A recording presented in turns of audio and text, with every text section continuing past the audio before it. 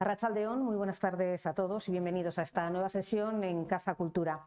¿Se han planteado ustedes alguna vez si hay alguna relación entre nuestra dieta y el cambio climático? Yo tengo que reconocer, y se lo comentaba nuestra ponente hace un momento, que cuando eh, publiqué en redes sociales que teníamos esta, esta charla hoy, pues hubo unos cuantos usuarios de, de mis redes sociales, de mis seguidores, que dijeron, a ver, a ver, a ver, Raquel, dieta y cambio climático, esto cómo se come, ¿no? Y yo les dije, bueno, si, si quieren comerse esto, acérquense el lunes a las 7 de la tarde a Casa de Cultura. La realidad es que eh, la relación existe y que además la relación es muy importante. De todo esto sabe y sabe además mucho nuestra invitada de hoy, Laura Isabel Arellano, licenciada en Biología por la Universidad Complutense de Madrid. Laura es máster en Nutrición y Salud por la Universidad del País Vasco, además de conferenciante y autora de varias e interesantes publicaciones en su campo. Buenas tardes, Laura. Buenas tardes. Me consta que vas a hacer una breve presentación del grupo al que perteneces y con el que trabajas, pero yo te voy a lanzar, si te parece ya, la primera pregunta. Perfecto. Me gustaría además empezar pues como se debe empezar, ¿no? Eh, por el principio. Hablamos y hablamos mucho de dieta y de dieta equilibrada, pero ¿a qué nos referimos, Laura, cuando decimos dieta equilibrada? ¿Qué es eso de la dieta equilibrada? Bueno, en primer lugar voy a, presentar al grupo de investigación en el que trabajo. Eh, yo trabajo en el grupo de investigación Nutrición y Obesidad. Eh, nosotros trabajamos en un laboratorio localizado en la Facultad de Farmacia, aquí en la Universidad de, del País Vasco, y nos dedicamos principalmente al estudio de compuestos que están presentes en los productos eh, de origen vegetal, eh, como por ejemplo los polifenoles, y su efecto en algunas enfermedades, como por ejemplo puede ser la obesidad u otras enfermedades metabólicas. Eh, este es mi grupo de investigación y bueno, ¿qué significa alimentarse de forma saludable? La eterna pregunta, que nadie sabe lo que tenemos que comer, ni lo que es bueno, ni lo que es malo. Y como que cada vez tenemos más información, pero también más desinformación y al final no sabemos ni, ni lo que es saludable. Bueno, pues una alimentación saludable tiene que cumplir principalmente tres requisitos, bajo mi punto de vista. En primer lugar, que aporte todos los nutrientes necesarios para que una persona pueda, pues en la época de la niñez, por ejemplo, crecer de forma saludable y desarrollarse correctamente. Y en la etapa de la, del adulto, pues que esa persona pueda seguir reparando sus tejidos y manteniéndose saludable. En segundo lugar, debe ser palatable. ¿Y qué quiere decir esto? Pues que disfrutemos de la comida que estamos comiendo, porque de nada sirve que nos comamos un brócoli mmm, súper soso, eh, aunque sea muy saludable, si no lo estamos disfrutando. Hay un componente muy importante en la alimentación que es el disfrute y que nos guste lo que estamos comiendo, que nos guste lo que estamos cocinando, eso es muy importante. Y en tercer lugar, que sea adecuada para cada etapa de la vida, porque en cada etapa de nuestra vida necesitamos unas tenemos unas necesidades energéticas determinadas y además necesitamos más micronutrientes o menos micronutrientes o macronutrientes. Por ejemplo, una embarazada no necesita lo mismo que una persona que no está embarazada. Y eso está claro. Entonces, para mí, una alimentación saludable tiene que cumplir, por ejemplo, estos tres requisitos. Eso hablamos cuando hablamos, eh, Laura, de, de, dieta equilibrada. Uh -huh. Tenemos que saber también distinguir entre grupos de alimentos, ¿no? Cuando, sí. cuando nos referimos a dieta equilibrada y qué debemos incorporar a nuestra alimentación para que ese equilibrio esté basado también en los grupos de alimentos que debemos tomar. Efectivamente. Eh, de hecho, para hablar de salud tenemos que hablar de la nutrición, que muchas veces no sabemos ni siquiera lo que es nutrirse, que no es lo mismo que alimentarse. La nutrición, esto es una definición al uso que saldría en los libros, pero de forma gráfica, la nutrición es partiendo de un alimento como por ejemplo pueden ser los garbanzos, cómo nuestro cuerpo es capaz de extraer con todos los procesos que tiene súper complejos en su interior, extraer los nutrientes que son los, los, ladrillos que realmente van a construir nuestro organismo y es realmente lo que nuestro cuerpo necesita. Entonces, eh, podemos dividir los, los nutrientes en dos grupos, los macro y los micro. Los macros serían los carbohidratos, las proteínas y los lípidos, y los micronutrientes, las vitaminas y los minerales. Entonces, la pregunta que todos nos hacemos es cuánto necesitamos de cada nutriente para estar sanos. Pues bueno, eh, hablando de grupos de alimentos, mejor podemos hablar de grupos de nutrientes, porque en realidad lo que importa son los nutrientes, no los alimentos. Entonces, de carbohidratos necesitaríamos más o menos un 50%, de proteínas de un 15 a un 20 y de lípidos o grasas de un 15 a un 30. Y micronutrientes, entramos en este batiburrillo de números en el que hay muchísimas cifras que es imposible aprenderse y que una persona en su día a día no se va a aprender, por ejemplo, que necesita mil miligramos de calcio. O sea, es muy difícil, no vas a estar midiendo en cada, en cada receta que haces, en cada cosa que comes, no puedes estar midiendo todos los micronutrientes y los macronutrientes para asegurarte de que estás comiendo bien.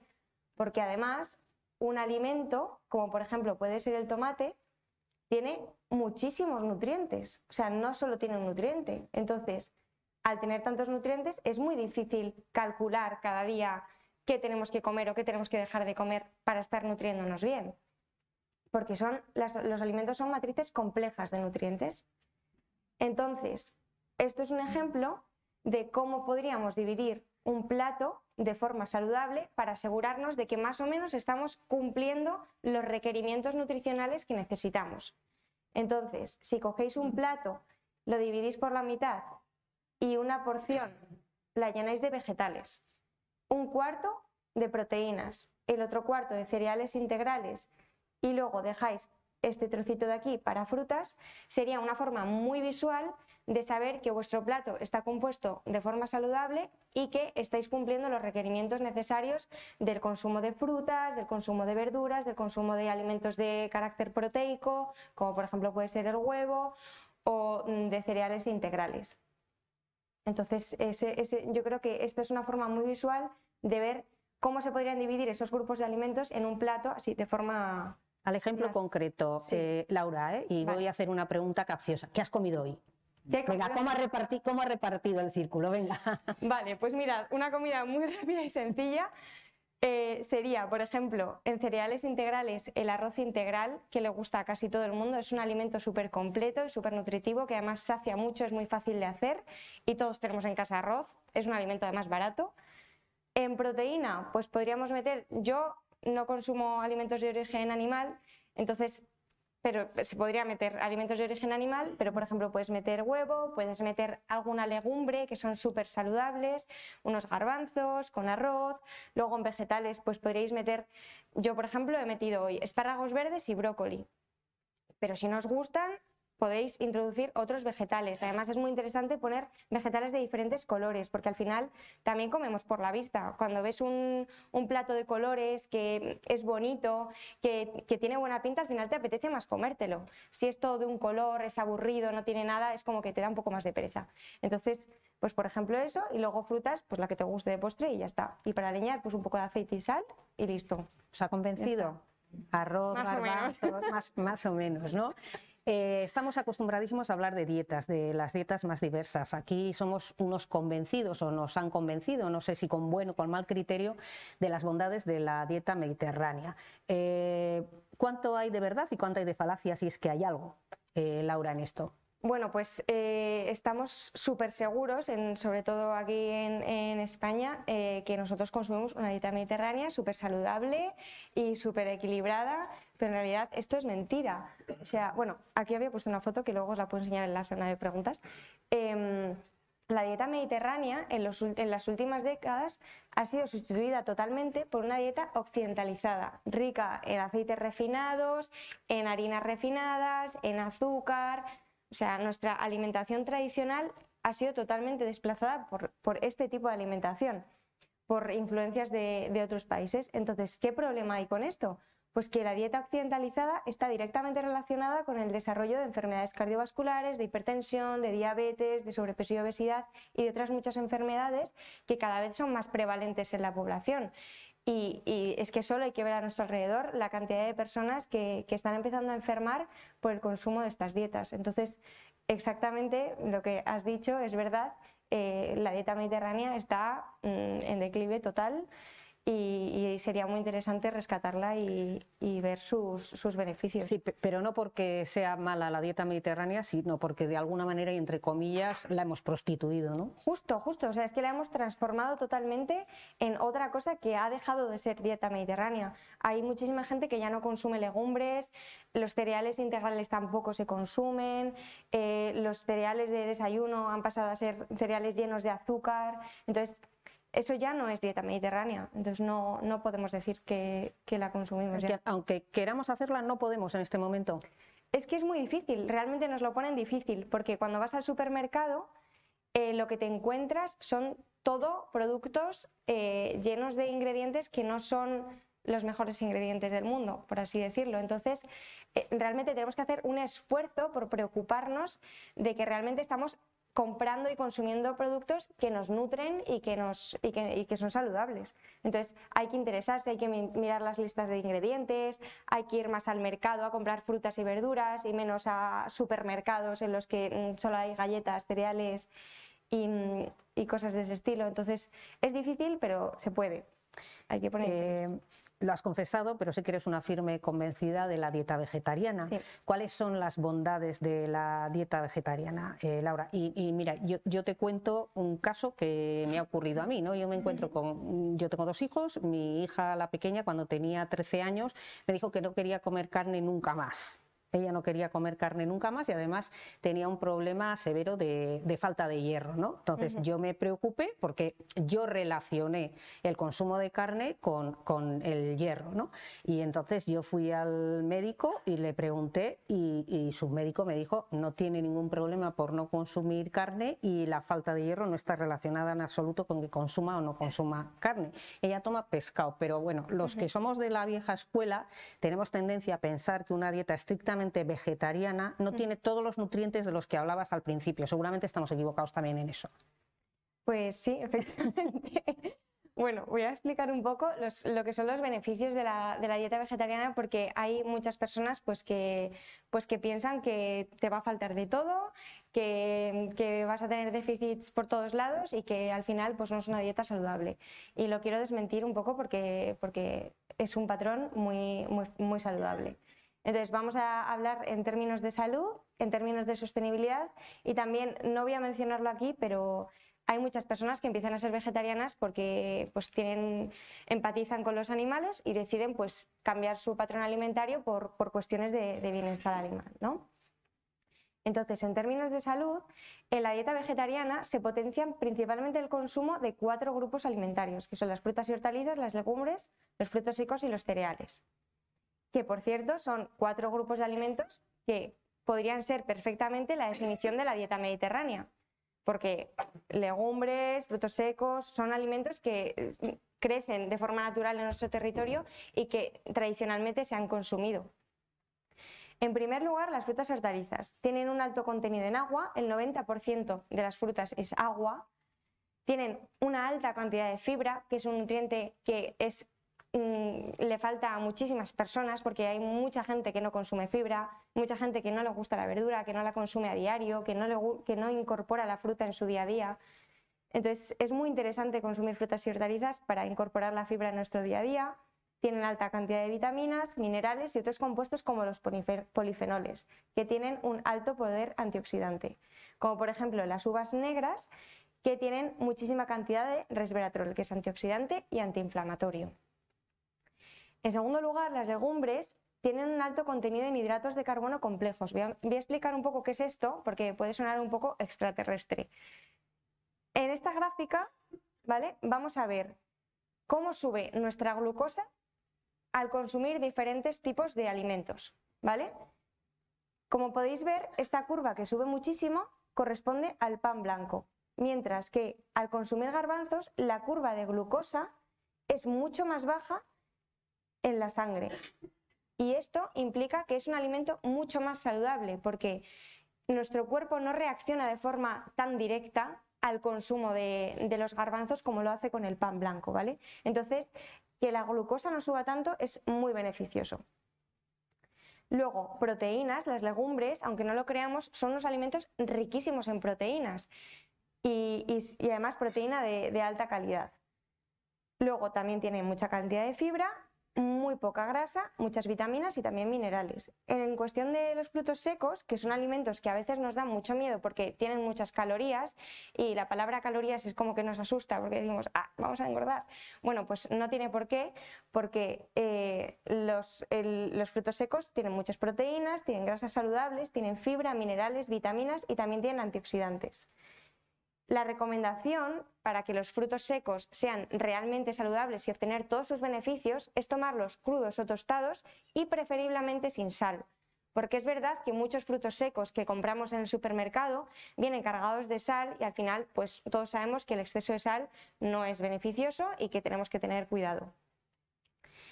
Aquí os quería explicar un poco que el consumo de, 10 a 100 gramos al día de almendras se ha visto relacionado con muchísimas con mejoras en muchísimos parámetros del metabolismo, como en el control de la, de la, glucosa, en el metabolismo de las grasas, al igual que en las nueces, que también se han visto muchísimas mejoras en muchísimos parámetros. Y luego, por último, quería destacar el grupo de los cereales. Em, que tienen hidratos de carbono, proteínas, grasas, fibra y beneficios en el control del peso corporal. Y aquí quería hablar un poco de esto porque hay muchas veces que tenemos miedo a los hidratos de carbono porque también pensamos que nos van a engordar, sobre todo eso que nos han dicho siempre de no comas hidratos por la noche, que engordan. Es mentira, o sea, en realidad lo importante es la calidad del alimento que estás comiendo y la cantidad. Si tú tomas un poco de arroz integral por la noche, obviamente no va a pasar nada el problema está en el chorizo, que le añades al arroz o a la pasta. efectivamente, el problema es en, otras cosas que utilizamos para aderezar esos alimentos, pero el alimento en sí es totalmente saludable. Incluso se ha visto con una reducción del riesgo eh, cardiovascular y diabetes, o sea, es muy importante tomar cereales eh, integrales. Y bueno, aquí eh, iba a hacer un, apunte que es la diferencia entre un cereal integral y un cereal refinado, que muchas veces pues no sabemos ni, la diferencia, ni lo que es, ni si uno es bueno, ni si uno es malo, ni, nada. Entonces, eh, esto es el grano de trigo, ¿vale? Que tiene tres partes principalmente, el salvado, el endospermo y el germen. El salvado tiene fibra, antioxidantes, proteínas, el endospermo tiene hidratos de carbono y el germen tiene principalmente vitaminas y minerales. ¿Qué pasa cuando refinan un cereal? Que eliminan el salvado y el germen, es decir, eliminan la fibra, los antioxidantes, las proteínas, las vitaminas y los minerales. Es decir, una parte súper interesante del, del grano de cereal y nos la estamos cargando. Entonces, creo que es muy importante que sepamos esto y que le demos valor al consumo de cereales integrales, porque además, aparte de que nos aportan muchísimos más nutrientes, es que son más saciantes, nos llenan más un trozo de pan integral te llena más que un trozo de pan blanco. Entonces, creo que también es muy importante saber esto. Y luego, respecto a lo que me has dicho del hierro, por ejemplo, es verdad que cuando empezamos una dieta vegetariana nos entran muchas dudas de si me va a faltar proteína, si me va a faltar mm, vitamina B12, por ejemplo, o calcio, o hierro. Estas son preguntas que la verdad es que me suelen hacer bastante porque surgen y es normal que surjan porque es un patrón alimentario que no es común, no es nuestra alimentación tradicional, entonces pues tenemos miedo a que nos falten cosas. En primer lugar, las proteínas eh, son uno de los nutrientes como que nos dan más miedo cuando empezamos una dieta vegetariana. Vamos a imaginarnos que una proteína es una cadena con muchos eslabones, ¿vale? Cada eslabón se denomina aminoácido, ¿vale? Y hay muchos aminoácidos. ¿Qué pasa? Que cuando una proteína es completa, significa que tiene todos los aminoácidos, es decir, todos los eslabones necesarios para, eh, pues para que nuestro cuerpo funcione de forma correcta. Y cuando la proteína es incompleta, significa que le falta algún eslabón. Por ejemplo, aquí, imaginaos que le faltase este eslabón. Pues esta proteína sería incompleta. Entonces, ¿qué pasa con las fuentes de proteína vegetales, con algunas de ellas? Pues que, por ejemplo, las legumbres tienen poca metionina, que es uno de esos eslabones, y los cereales tienen poca lisina, que es otro de esos eslabones. Pero no pasa nada, porque como a este le falta uno y a este le falta otro, si los combinamos tenemos proteína completa. Es como un puzzle que se completa y entonces conseguimos una cadena completa de proteína. Y una, otra de las preguntas es, vale, se completan, pero ¿hace falta tomarlos en la misma comida? No, perfectamente podrías consumir, por ejemplo, unas lentejas a la hora de comer y un poco de arroz a la hora de cenar, u otro cereal integral cualquiera, el que, el que guste. En segundo lugar, eh, la vitamina B12. Aquí hay que decir que la vitamina B12 es el único suplemento que es obligatorio a la hora de empezar una dieta vegetariana. Voy a explicar un poco lo que es la vitamina B12 así de, forma rápida. La vitamina B12 únicamente se encuentra en productos de origen animal, como por ejemplo pues los filetes de ternera, ¿vale? Pero sin embargo, su origen es bacteriano. ¿Y esto cómo puede ser? Pues esto es el aparato digestivo de un rumiante, ¿vale? Como puede ser la vaca. Esto es el rumen. En el rumen hay unas bacterias que a partir de cobalto generan la vitamina B12. Entonces, aquí se produce la vitamina B12 y aquí se absorbe. Y una vez que el rumiante absorbe la vitamina, se queda en sus tejidos. Entonces, si tú te comes un filete de ternera o un filete de vaca, te comes la vitamina B12 porque se ha almacenado en sus tejidos, ¿vale? ¿Qué pasa? Que en los, rumiantes esta es la dirección de la, digestión y esta es la, dirección de la digestión en nosotros.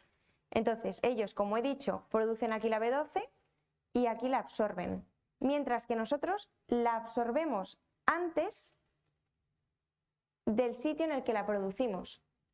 Entonces, claro, no podemos absorber esa B12 que estamos produciendo, sino que se, excreta con las heces. Entonces no la podemos absorber. Es por esto por la que lo, tenemos que, que, introducir en nuestro cuerpo a través de los nutrientes. Por eso, o consumimos carne y entonces al consumir la carne que viene por aquí, se absorbe aquí, o tomamos un suplemento. ¿Qué pasa? Que como he dicho, en las bacterias que generan la B12 lo hacen a partir de cobalto y el cobalto está presente en los pastos. Y normalmente la carne que consumimos no es de vacas de pasto, es de vacas que están en granjas y que no pastan al aire libre y por lo tanto no pueden coger el cobalto del pasto. Entonces, lo que se ha hecho en los últimos años es suplementar el pasto que se les da en las granjas con vitamina B12 para que las vacas también tengan. Luego, otro de los nutrientes que preocupan bastante son, eh, es el calcio. Y el calcio, lo primero que se nos viene a la cabeza cuando pensamos en calcio son los alimentos de origen lácteo, ¿no? Como por ejemplo la leche, los yogures, el queso. Bueno, pues aquí quería poner una tabla en la que se viese de forma clara que no solo los lácteos tienen calcio, hay muchos más alimentos que lo tienen. Entonces, eh, hay que destacar que de la cantidad de calcio que tú comes, no absorbes todo. Hay una parte que se desecha, ¿vale? Entonces, por ejemplo, la leche entera. Pues 100 gramos de leche entera tienen 120 miligramos de calcio, pero solo absorbes 38, es decir, un 31%. Pues curiosamente, el tofu, que es un preparado de soja de origen vegetal, también absorbes el 31% de, de, calcio. Es decir, que el tofu sería una fuente totalmente de origen vegetal, igual de saludable, que también tiene calcio. Entonces no tendríamos carencia de calcio. Otros ejemplos de, productos de origen vegetal, el brócoli. Absorbes el 52% del calcio que tiene un brócoli. Coliflor, el 70%. Y bueno, aquí tenéis otros, otros alimentos también ricos en calcio, como las almendras, las semillas de sésamo, la espinaca, el calcio es especialmente importante para la salud ósea.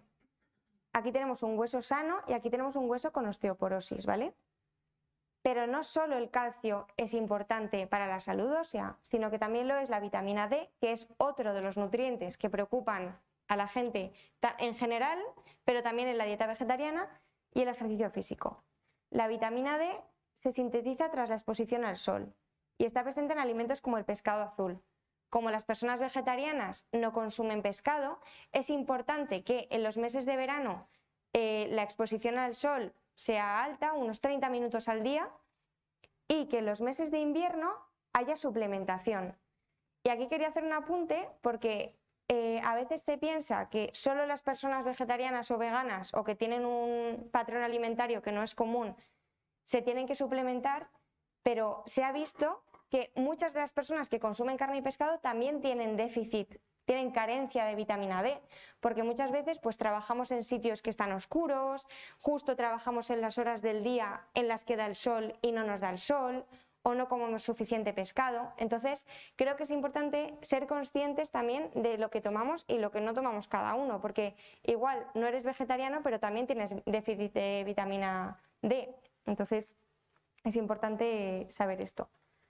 Y luego, el ejercicio, nada, simplemente eh, decir que, que para la salud ósea es muy importante practicar ejercicio de fuerza y ejercicio de impacto. Luego, el hierro, que es el micronutriente que me has mencionado anteriormente. Em, el hierro, hay dos tipos de hierro. El hierro hemo, que se absorbe eh, en un 15-35%, es como el calcio, que de todo el que ingieres no absorbes todo, sino solo una parte. Y el no hemo, que se absorbe un poquito menos, de un 2 a un 20%. Entonces, ¿qué pasa? Que los alimentos de origen animal tienen un tercio de hierro hemo y dos tercios de hierro no hemo. Entonces, este se absorbería bien y este regular. Mientras que los de origen vegetal únicamente tienen hierro no hemo, es decir, el que se absorbe regular. Entonces, aunque tenemos fuentes de origen vegetal de hierro numerosas y que tienen suficiente hierro, es muy importante que utilicemos distintas estrategias como por ejemplo tomar vitamina C cuando tomamos alimentos ricos en hierro para potenciar la absorción de ese hierro no hemo que se absorbe un poco regular, entonces necesitamos ayudarle para que se pueda absorber. Por ejemplo, eh, pues si nos tomamos unas lentejas de comer, tomarnos una naranja de postre. O si hacemos una ensalada de garbanzos, alinearla con un poco de limón. Serían dos ideas así rápidas y muy fáciles en las que pues estás incorporando una fuente de hierro y una fuente de vitamina C. Y luego zinc, magnesio y yodo, que son otros tres minerales, pero que realmente preocupan, pero son falsas preocupaciones porque tienes fuentes de zinc, de magnesio y yodo en, alimentos de origen vegetal que sobra. Y ya está. Aquí. A ver si lo puedo resumir bien. Sí, porque eh, a, una, persona que opta por hacer una dieta vegetariana, seguramente va a tener que suplementar esa dieta con vitamina B12. Eso 100%. Con calcio y con hierro. ¿Se me olvida algo? Suplementación como tal, en forma de una pastilla, vitamina B12. Solo la B12. Sí, el calcio y el hierro simplemente habría que estar atento con esos consejos que he dado para potenciar la absorción, pero realmente no hay que suplementar, o sea, no hay que tomar un suplemento como tal.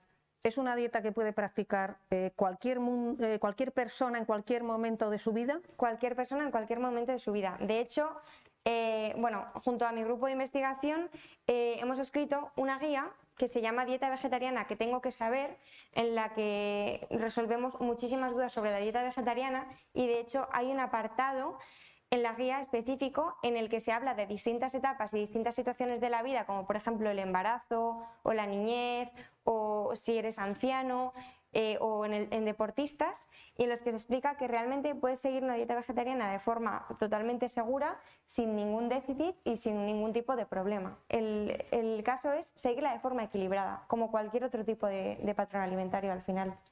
Hay otro tema que quería hablar contigo respecto a esta dieta y es que has, mencionado algunos productos que son mejores que otros, o sea, es mejor tomar eh, garbanzos no refinados, es mejor tomar eh, eh, pan que no sea pan blanco, pero normalmente son alimentos que tienen un coste superior al del otro producto, al del producto alternativo. ¿no? ¿Cuánto de más está pagando un vegetariano puro por ese tipo de alimentos? Vale, eh, realmente eh, esto me lo he planteado muchas veces porque se piensa que, los vegetarianos como que nos cuesta más la, cesta de la compra. Pero en realidad depende mucho de los productos que elijas, porque si, compras, bueno, de hecho cada vez está más cara la carne y el pescado, entonces, eh, pues por ejemplo, eso ya te lo ahorras. Y luego las legumbres, el arroz, eh, las verduras, realmente si lo compras en un, en un mercado eh, no hay ningún, ningún tipo de, producto que sea extremadamente caro mm, y que sea inasequible para, para la gente de a pie. O sea, es verdad que luego hay preparados vegetales como que tratan de imitar la carne y cosas así que sí que se elevan un poco más de precio, sobre todo por la novedad porque están saliendo muchos productos nuevos y al final pues son más caros. Pero si basas tu alimentación en legumbres, cereales, frutos secos, verduras y frutas, realmente son productos bastante, que están bastante bien de precio y que no, que no sube muchísimo el, que no, Entiendes que no hay una gran diferencia en esa cesta de la compra que tantos dolores de cabeza nos está dando en los últimos meses. Eh, ¿Definirías el ser vegetariano como una actitud ante la vida? Eh, para muchas personas lo es, sí. Y, yo creo que además eh, lo extrapolas a, otros ámbitos de tu vida. Eh, hay muchas personas, por ejemplo, los veganos, que son aquellas personas que excluyen el consumo de carne, pescado, miel, huevos y lácteos, es decir, todo producto que venga de origen animal. Al final lo llevan también a otros ámbitos de su vida, como por ejemplo la ropa que se compran, que sea pues, de, consumo responsable, em, pues intentan utilizar tanto el coche, pues otras cosas que puedes hacer en la vida para pues, que tu presencia en el mundo no tenga tanto impacto negativo porque al final todo lo que hacemos tiene un impacto en, el mundo y todas nuestras elecciones tienen un gran impacto. Entonces, sí, es una actitud ante la vida para muchas personas. Nos has abierto, Laura, claramente la puerta para que empezamos, empecemos a entender qué relación hay entre eso que consumimos, esa dieta eh, que llevamos cada día, todos y cada uno de nosotros, con ese cambio climático que tanto nos está afectando y eso que yo decía, hay gente que no entendía o que no entendemos cómo pueden casar esos dos conceptos. Sí, pues aquí, eh, bueno, aquí quería hablar, bueno, aquí tenemos unas recetas que luego podemos hablar de ellas. Eh, vamos a hablar de la dieta vegetariana en términos de sostenibilidad, porque es verdad que hay mucha gente pues, que no, no encuentra la relación entre pues, lo que te puedes poner en el plato y su impacto en, el mundo. Entonces, eh, vamos a hablar de huella hídrica y de huella de carbono. La huella hídrica es un indicador que nos muestra cuánto agua se gasta desde que empieza a producirse un alimento hasta que llega a nuestro plato, ¿vale? Entonces, en esta imagen hay mucha información, voy a destacar dos en concreto para hacer una comparativa. Por ejemplo, para la producción de 100 gramos de vacuno se necesitan 4.500 eh, litros de, de agua, ¿vale? Mientras que para la misma cantidad de naranja se necesitan 50, ¿vale? Para que veáis pues es, bastante chocante. Yo cuando vi la imagen me quedé bastante impactada, impactada porque es, muy visual y a veces no, nos damos cuenta de, la cantidad de impacto que tienen nuestras elecciones.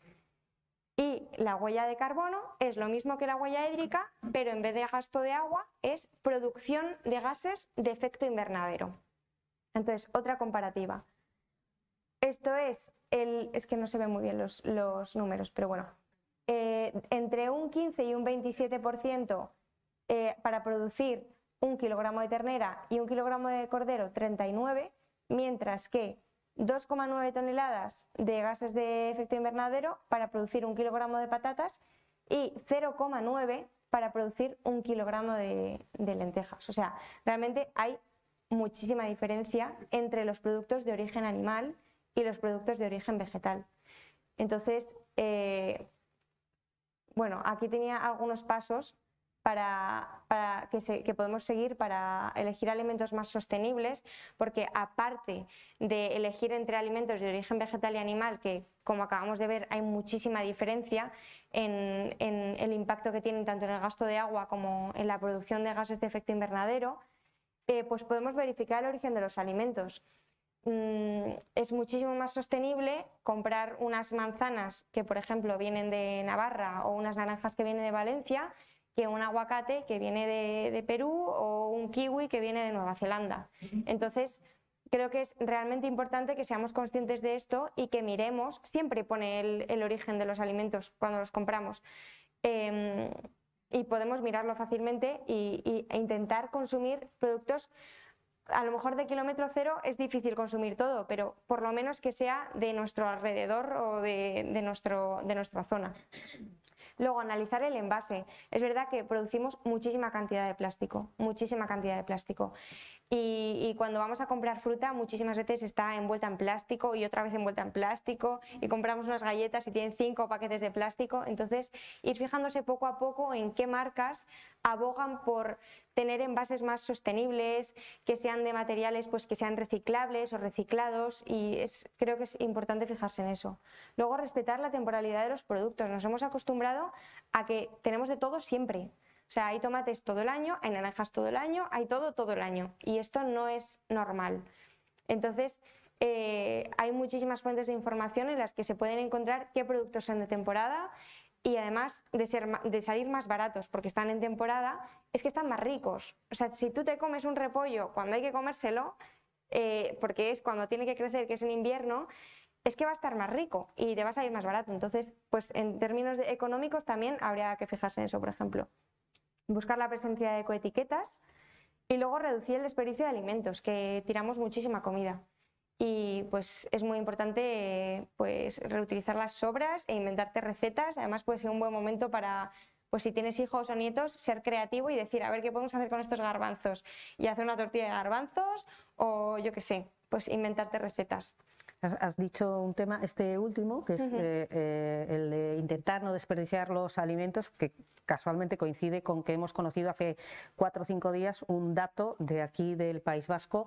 Cada, uno de nosotros desechamos, sin además ser conscientes de que lo hacemos, piénsenlo porque el dato es dramático, 172 kilos de comida al año.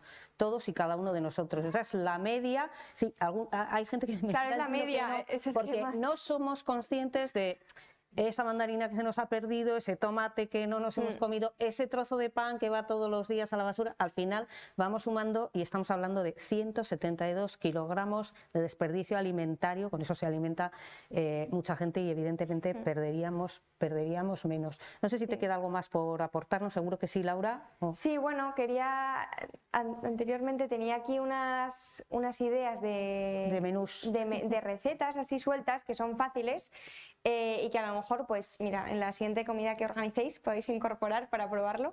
Están todas en la guía, así que si, si bueno, y en internet hay mil millones de recetas vegetarianas y veganas. Este sería un, un, pate fresco de berenjenas, pues que para un picoteo, para un entrante y así, está muy bien, es súper fácil de hacer. Eh, luego una hamburguesa de garbanzos, pues si un día te apetece una hamburguesa, pues a lo mejor puedes sustituir esa hamburguesa de, carne que sueles tomar por una hamburguesa de garbanzos para probar otras opciones, para ver si te gusta y para, pues para ir probando diferentes recetas. Luego una boloñesa de lentejas con patatas asadas, en vez de utilizar carne, pues puedes hacerte una boloñesa de lentejas y está súper rica, es súper fácil y muy rápida. Y luego unas brochetas de tofu con verduras asadas. Pues si tenéis una barbacoa, a lo mejor una de las opciones puede ser esta y así podéis ir incorporando pues alguna opción de, de origen vegetal para, pues para ir probando a ver si os gusta. Desde luego a la vista son muy buena eh, pinta y muy, muy, ricas. muy atractivos. Vamos a dar paso al público por si quiere hacer alguna pregunta, pero sí quería eh, lanzarte una más. Eh, hace una semana justamente también en este foro seguro que ha habido gente que, estuvo también el lunes pasado. Hablamos de, deporte, hablamos de nutrición un poquito y hablamos un poco de dieta y se, surgió el tema de, la dieta de ayuno. Esto del ayuno que parece que se está poniendo tan de moda últimamente y que quería conocer tu opinión, Laura, hasta qué punto esto de hacer ayuno durante nueve horas, hacer solamente una comida o dos comidas al día, es sano, no es sano, y ya nos avanzaron la semana pasada que en cualquier caso siempre con supervisión médica. Efectivamente, bueno, eso estoy totalmente de acuerdo. El ayuno es una estrategia eh, que se puede utilizar con diferentes fines, como por ejemplo puede ser la, pérdida de peso. Pero realmente eh, yo no daría una recomendación general ni para hacerlo ni para no hacerlo, creo que es una decisión muy personal y que también depende mucho de, tus preferencias. Hay mucha gente que lleva haciendo ayuno toda su vida y no se ha dado cuenta y ahora se ha dado cuenta porque se ha puesto de moda. Hay mucha gente que se despierta por la mañana y simplemente pues no tiene hambre, no, no tiene apetito, no le apetece desayunar y pues hasta las 12 del mediodía, una no consume nada. Eso sería hacer ayuno. Entonces, em, realmente si, si, tu necesidad es, por ejemplo, si tu objetivo es perder peso y, quieres eh, tomar la estrategia de ayuno como un vehículo para conseguir ese objetivo, pues efectivamente recomiendo que, acudas a un profesional para, conseguir ese objetivo. Em, y luego puedes ir probando, o sea, si, si a ti te apetece probar lo que es el ayuno, se ha visto que tiene beneficios en el metabolismo eh, y si tú quieres ir probando lo que es el ayuno, pues eh, es, una buena estrategia, pero creo que eh, es muy importante tener en cuenta también la, relación que tienes con la comida y que no te cree ansiedad. no, no puedo comer hasta las 12 de la mañana porque estoy haciendo ayuno. Si te está creando ansiedad, si te está creando nerviosismo, si te está creando malestar, yo no lo recomendaría. Entonces, creo que es muy importante acudir a un profesional y luego reconocer bien cuál es tu relación con la comida y si eres capaz de tomar esa estrategia, porque a lo mejor pues psicológicamente tú no eres capaz y no pasa absolutamente nada. Es que nos volvemos igual un poco locos, ¿no? O sea, pasamos de esa recomendación de cinco comidas al día porque es la forma de mantenerte bien y aguantar todo el día a hacer una ayuda intermitente de no sé cuántas horas. No sé si eso es equilibrado eh, o, o- o qué es lo más equilibrado. Igual tenemos que trabajar cada patrón y cada Es dieta que para cada persona, ¿no? Justo, es que cada persona es un mundo, cada persona tiene unas necesidades. A lo mejor hay personas que cada dos horas tienen hambre. Pues si cada dos horas tienes hambre y comes un poquito cada dos horas y eso te sienta bien y tú estás sano y te sientes bien, pues adelante con ello. Y si te levantas por la mañana y no tienes hambre y hasta las dos no comes y te sientes bien, pues adelante con ello también. O sea, lo más importante es que lo que comas sea la cantidad adecuada que tú necesitas para mantenerte con unos buenos niveles de energía y que esa cantidad de comida que estás comiendo sea de fuentes saludables que te nutran. O sea, que esos ladrillos que estás consumiendo sean buenos ladrillos para construir un, un cuerpo pues, que sea saludable. Eso es lo más importante. Vamos a ver si hay alguna pregunta en la sala. Por aquí tenemos una. Una referencia del libro. Ah, claro. Sí. Eh, ¿Está para atrás o para Aquí. Sí. ¿Alguna cosa más mientras hacemos este pantallazo? Sí, por ahí. Sí. Yo quería saber eh, la quinoa de la que se hablaba hace unos años como un producto milagroso que tenía toda clase de minerales y todas esas cosas. ¿Qué hay de verdad en eso? Pues efectivamente la quinoa es un, es un pseudo cereal eh, que es muy rico en nutrientes y, y muy alto en proteínas. Eh, no hay ningún alimento milagroso. Lo que pasa es que pues, se introdujo en nuestra alimentación porque es procedente de otros países y se ha descubierto y ahora se ha empezado a consumir mucho, pero realmente eh, como la quinoa hay muchos productos en nuestra alimentación tradicional, como por ejemplo los garbanzos, que son súper ricos en nutrientes y que tienen los mismos beneficios. O sea, realmente no, es, no hay ningún alimento que, que yo te diría, tienes que consumir este alimento porque es oro. O sea, Ya, ya, es que como decían que tenía una energía, que los del altiplano con eso vivían y no sé qué, no sé cuántos, digo, oye, pues a lo mejor hay que ponerse quinoa en todas las comidas. la quinoa es muy sana y está muy rica. O sea, si la quieres tomar, pero no es un alimento milagroso que está muy bien, sí. Sí, había otra por aquí Sí. y ahora volvemos. Yo te quería preguntar que has hablado muy poco de la bebida. Por ejemplo, la cerveza sin alcohol, el vino sin alcohol, que dice que lo van a sacar, porque has dicho que la uva negra tiene muchas propiedades. Entonces, eh, Sí. cuando vamos por ahí, ¿qué podemos pedir? ¿Una cerveza sin alcohol siempre o qué? A ver, bueno, lo primero decir, alcohol siempre consumo moderado. Ya. por favor.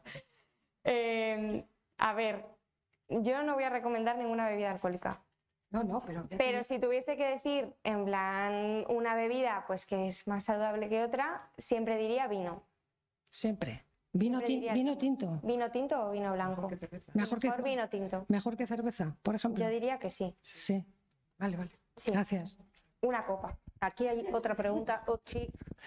Por aquí, por aquí primero y luego allí. Era solamente que me ha sorprendido, ah, perdona, me ha sorprendido que has, has mencionado la palabra, o sea, has dicho garbanzos integrales. Ese- No, refinados. refinados. Ah, pues eso, pero y, y entonces, si hay refinados, ¿los otros qué son? No, no hay, no hay garbanzos refinados ni nada. por eso- no, no, no, es no, que- eran no, ah, cereales. Cereales. Ah, perdona, no, es que has dicho eso y digo, esto no me cuadra. Me he nada. colado yo. Vale, perdona, Ana, ya está, pues entonces nada más. No, no. Es casi mucha información. Uchi, ahí, ahí. Ahí en la esquina. Oye, yo quería hablar sobre la soja, que en el mercado hay, vas y dice bebida de soja. Sí, Entonces, ¿eso qué? ¿Qué es bebida de soja? Eh, porque aquí la soja, mm, hablabas de tofu, sí. Tofu. tufo, tufo, eso. Que no me salía. Entonces, ¿qué, qué hay ahí? Porque bebida de soja. Y, Vale. La, Es la una soja- leche que, que- que se compra en el mercado, Sí, pero que no es leche, es bebida. sí. ¿Y qué? A ver, la soja es una legumbre, Sí. ¿vale? Como puede ser el garbanzo, la- el guisante, mm, la alubia. Es una legumbre. ¿Qué pasa? Que em, la soja es muy rica en proteínas, entonces es un alimento que se utiliza para elaborar muchísimos otros productos, como por ejemplo el tofu. Vamos a hacer una similitud, ¿vale? El tofu es como el queso blanco que se hace con el líquido que se le saca a la soja. ¿Vale? Es como si fuese un queso de leche, pero en vez de ser de leche, es de soja. ¿Vale?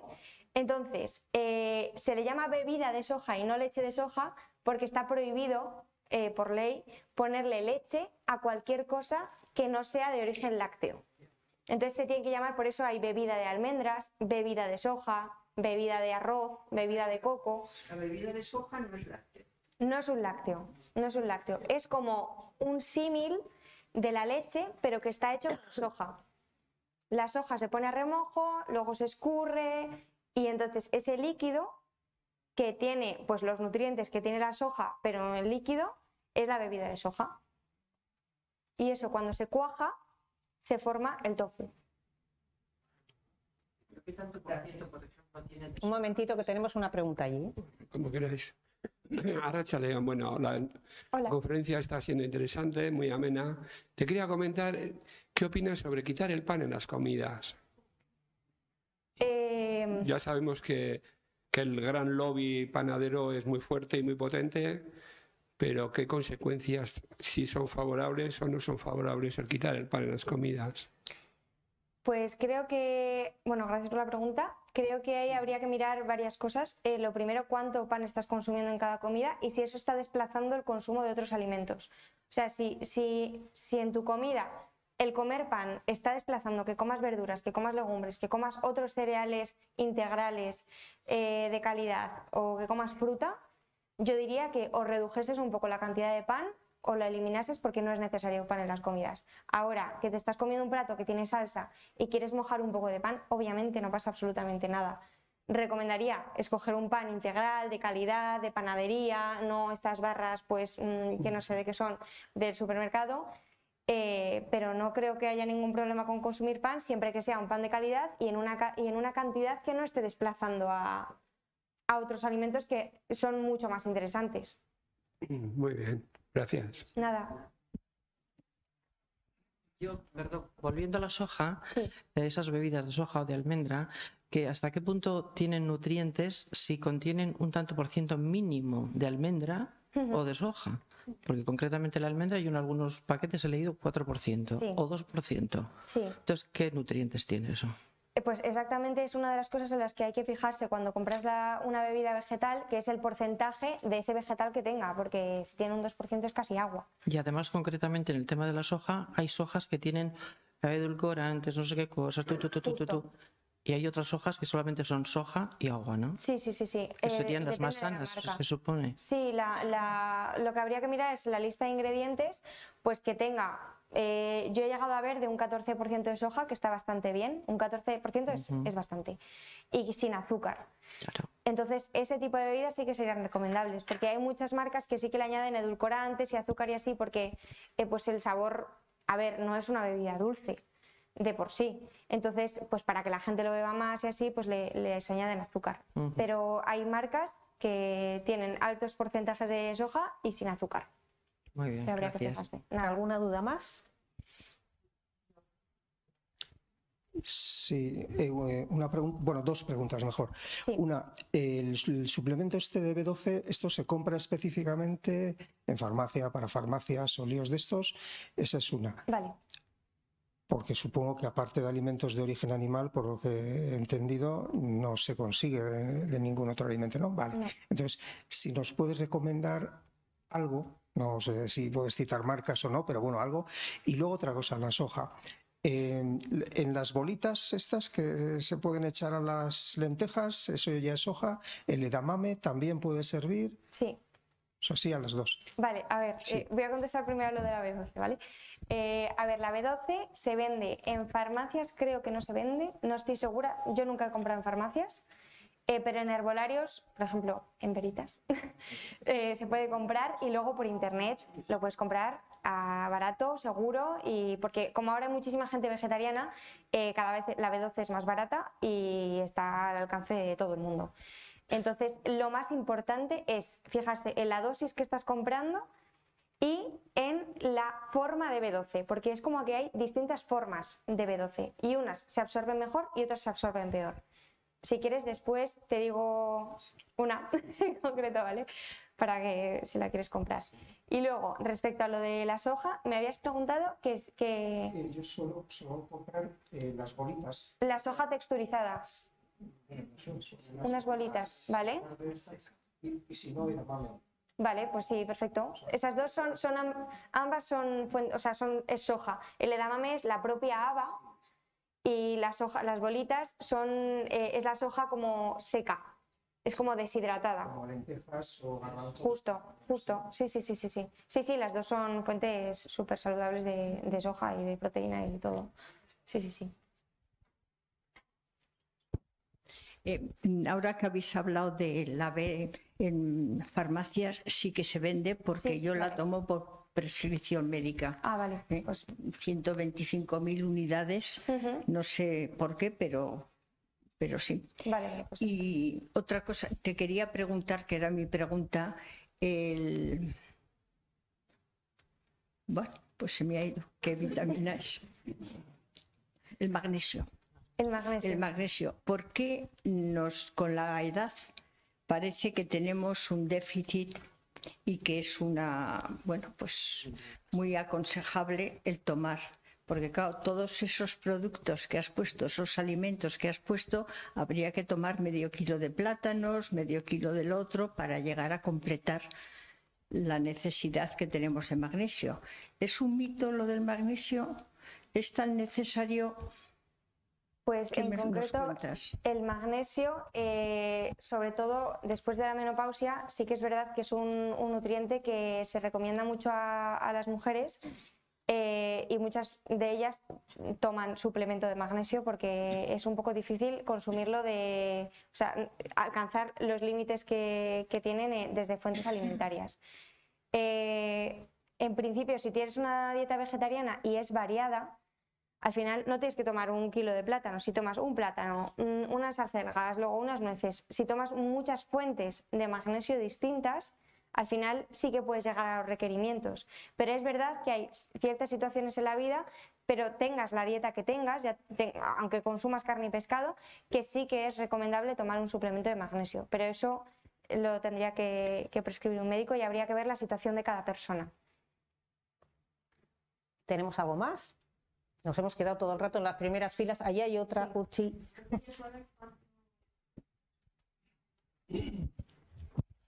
Hola, eh, yo quería saber, en caso de empezar con una dieta vegetariana, ¿cuánto B12 hay que tomar? ¿Todos los días o cada X tiempo? O sea, ¿cómo? Porque claro, a veces no, yo tomo no sé qué, alguna infusión, pero luego si abusas de esa infusión, o sea, ¿qué cantidad de B12?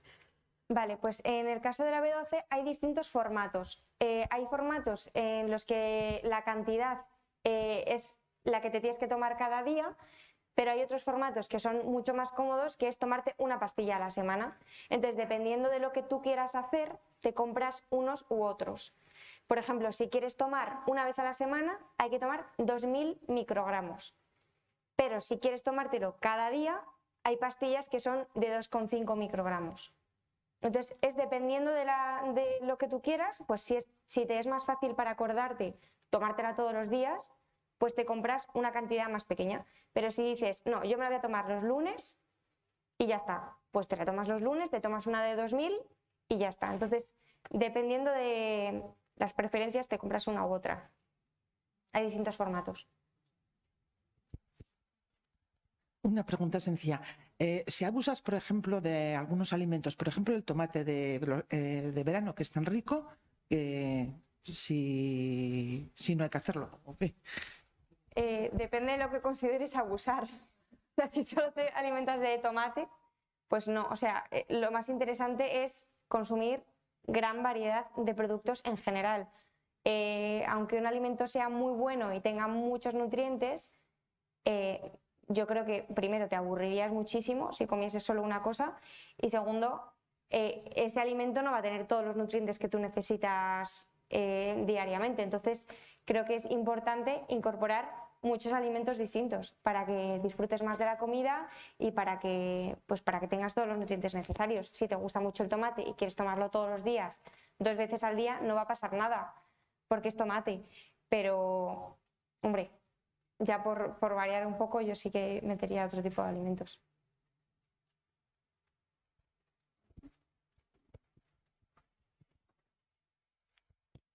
Hola, buenas tardes. Hola. Mira, mi marido toma Sintrón y en verano tomamos mucho tomate y se le descontrola completamente. El Sintrón, por- nos han dicho que es por el tomate. no Pues sé ahí si me, eso. me pierdo totalmente porque no Ya. sé, lo siento. Ya, sí, me imagino que es más cuestión de- del médico, ¿no? Pero Sí. es que le ha pasado ya dos años y, Es curioso, y- y es curioso, sí. no lo sé. Lo siento, no lo sé. Otra cosa, y- oye, yo la leche entera no la puedo tomar. Tengo que tomar desnatada. Sí. ¿Estoy bien alimentada con eh, tomando la desnatada? Eh, No lo sé, pregunto. Sí, o sea, a ver, principalmente la diferencia entre la, entre la desnatada es que le quitan un porcentaje graso. Sí. El principal problema es que eh, la vitamina D de la leche. Al quitarle la grasa, como es una vitamina que se encuentra en la grasa de la leche, pues le retiran mucha cantidad de, de vitamina de la D. vitamina D. Pero eh, eh, creo que eh, existen muchas leches desnatadas que vienen suplementadas con vitamina D. Sí, sí. Que aunque entonces, si vienen suplementadas, no hay, No hay- no hay no ningún problema. No, no, no. Vale, gracias, nada. Nada. gracias. ¿Hay algo más? ¿No? ¿Sí? La última. Eh, Solo era que la soja tiene también una leyenda un poco ahí negra, ¿no? O sea, eh, eh, sobre todo, no sé si es para los, para el sexo masculino, ¿no? El tema ¿no? de la testosterona y ahí hay un- una pega, ¿no? Con la soja, que siempre se habla como muy bien de ella, pero creo que tiene un poquito un lado oscuro, ¿no? Sí, pero realmente no, no se ha demostrado, o sea, se han hecho numerosos estudios científicos con el consumo de soja en tanto en hombres como en mujeres, porque en mujeres también surgió como un mito de que como que favorecía el cáncer de, de mama y cosas así, y es totalmente falso. O sea, no, no se ha visto ni se ha demostrado en ninguno de esos estudios que eso ocurra. De hecho, lo contrario, en el caso del cáncer de mama, es, es favorable para la prevención. Laura Arellano, muchísimas gracias por compartir todo este conocimiento con nosotros, por prestarte a contestarnos a toda esta cantidad de, preguntas que te hemos lanzado entre todos. Eh, a ustedes también muchas gracias por acercarse, gracias por participar, que terminen bien el lunes y feliz semana.